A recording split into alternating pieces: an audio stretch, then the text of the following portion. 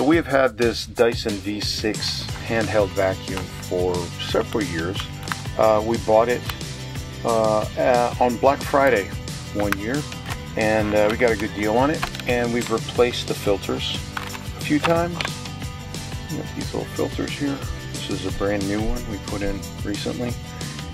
And I've also replaced this bin. I bought a new one from Dyson because the old one had cracked.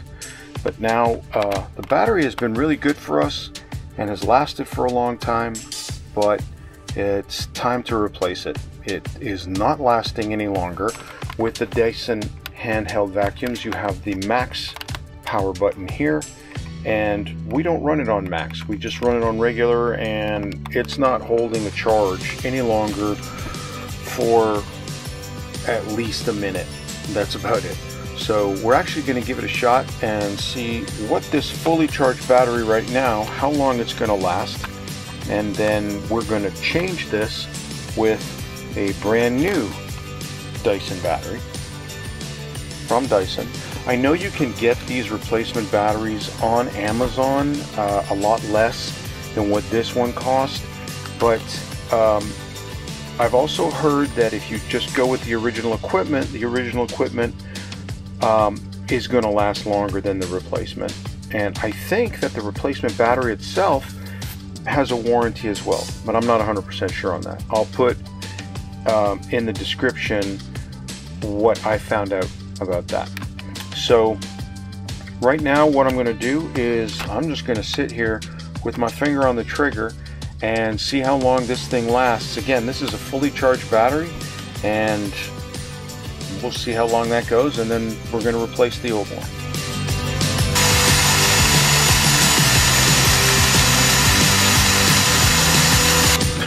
I was going to show that it was not on max and uh, that's it it's dead so the fact that we've just exhausted this battery um, is neither here nor there when it comes to replacing the battery because you can't switch these off uh, you want to be sure that it is disconnected from the power where it's going to recharge and first thing we're going to do is we're going to hit this little button here down once and it'll open up the bin and then you hit it again and that will unlock the bin and you can pull the bin right off.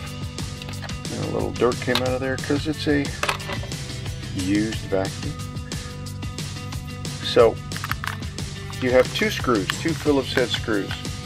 One is here and the other one is right there and they're very small but when you do get your replacement battery from Dyson it will come with two new screws so we'll take a look in there and there you go there's your two new screws so we're going to take the old battery off first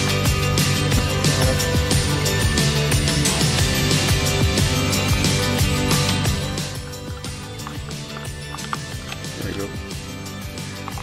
Alright, and then the other one up front here, which is why we took the bin off. Two. And then the battery pops out like that. So, lay this down here. These off to the side. We'll move that too. We'll unbox. I've not done an unboxing video, so. Silica gel. Do not eat.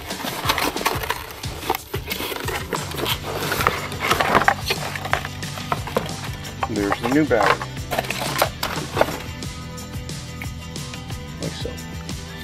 And as I said, you can get a cheaper replacement battery on Amazon. I paid $95 for this battery. Do I feel that it's a lot of money? Yes, I do. But at the same time, to have the original equipment, it's a personal choice, and I've chosen to go with the Dyson battery. So, in the handle there, you can see it's really simple. Just slide that right up in there. It clicks, And then we're going to take the two new screws and we're going to put this thing back together.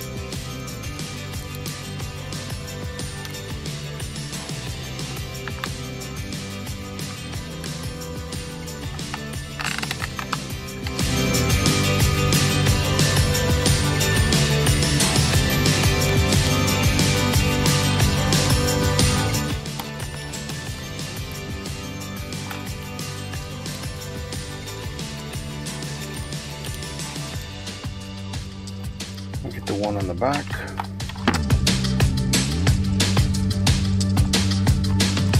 Okay.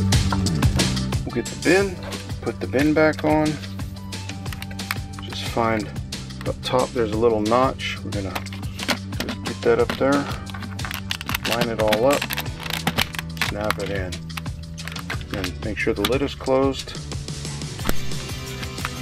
And you are good to go. The battery comes partially charged from Dyson, so you're going to want to charge this completely before you use it again.